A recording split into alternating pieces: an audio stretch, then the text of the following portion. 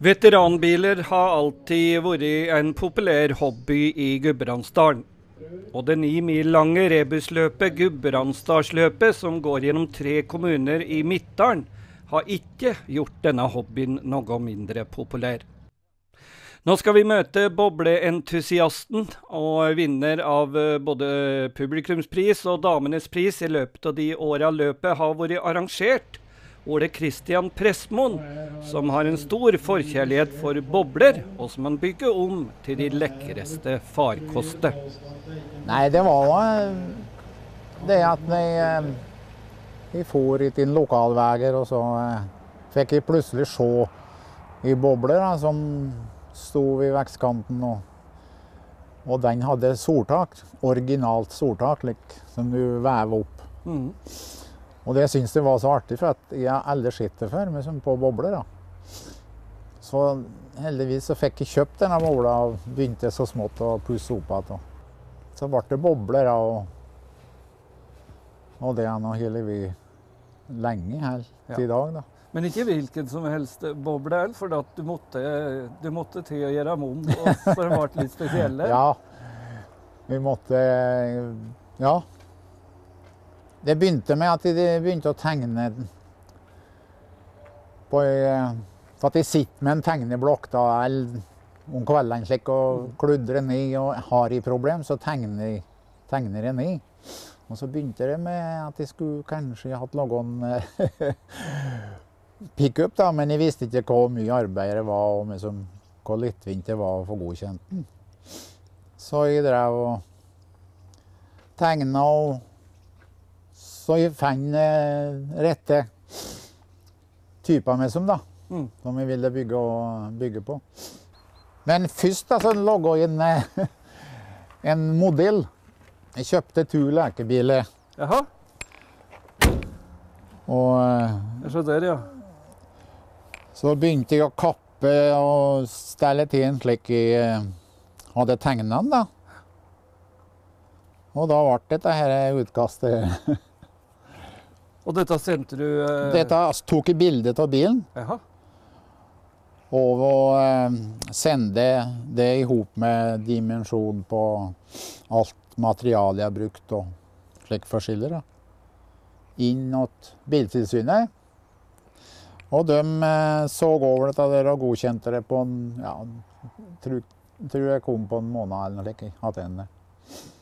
Spesielt. Da var det bare å bygge. Ja. Ole Kristian har flere bobleprosjekt på gang. Ja, ikke bare ett, kanskje både to og tre. Og møter stadig på nye utfordringer under restaurering. Ja, kanskje rust, da. Det er mye arbeid med, med rust. Da. Det er en del rust. Så du må bare skjære vekk det som er rusta.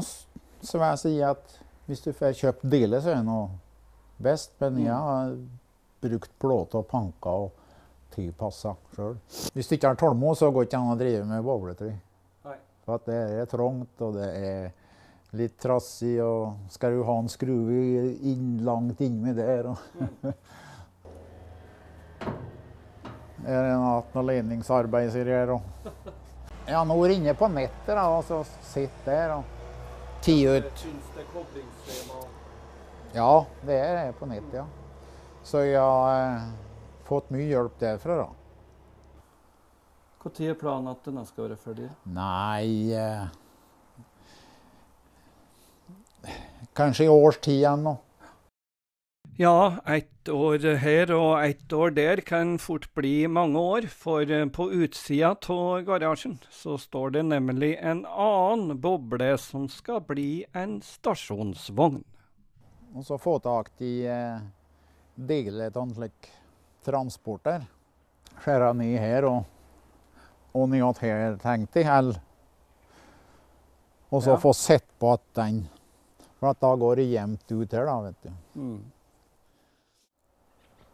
Så eh, jeg vet ikke ennå hva slags problem vi møter på når jeg skal begynne å bygge, men Vi får eh, bare vente og se til vidunderet står ferdig og klart for å kjøres ut på veien. Ole Kristian Prestmoen eh, har pusla med litt av hvert gjennom tida, og når tida blir for lang, så driver han med noe helt annet. Som for eksempel bygge en Il Tempo Gigante-modell. Og det kom lyset på. Lyset på nå.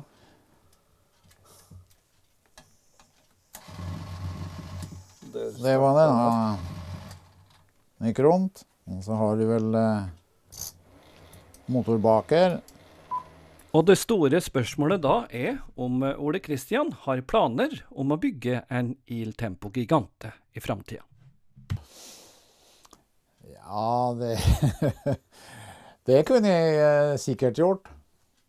Men eh, det blir vel en, for mye arbeid. Men har jeg, har jeg tid og og slik, så kan det nok kanskje gå an. Vi vil påstå at det er ikke mange som eh, har sett maken til